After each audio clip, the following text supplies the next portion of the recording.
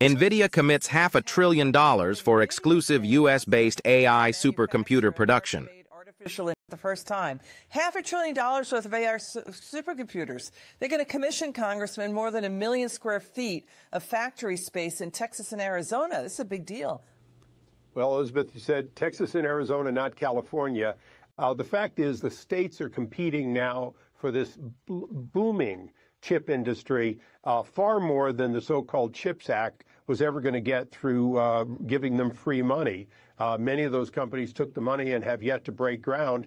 Uh, this is different. NVIDIA has has orders. They want them now. Uh, the threat of tariffs and the threat that China poses has caused them to recognize that now is the time to invest and invest quickly, be up and producing in months if possible. Interesting. So is China coming to the table? We hear they are. We hear that China asked for a relief from the tariffs, creating an opening for negotiations. There's also news. We know that China has alt, uh, halted seven critical rare earth elements to the United States. Do you think China steps up more quickly than expected to deal? I'd be pleased if they did. But remember, China loves to negotiate, to promise, and then not deliver. So one of the things that President Trump knows all too well is that a promise from China means nothing.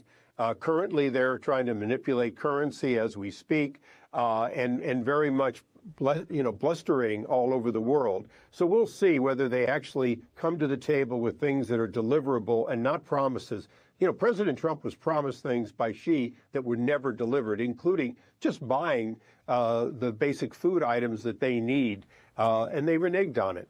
Yeah, Congressman Issa, we'll stay on this story. Thanks for joining us tonight. It's good to see you.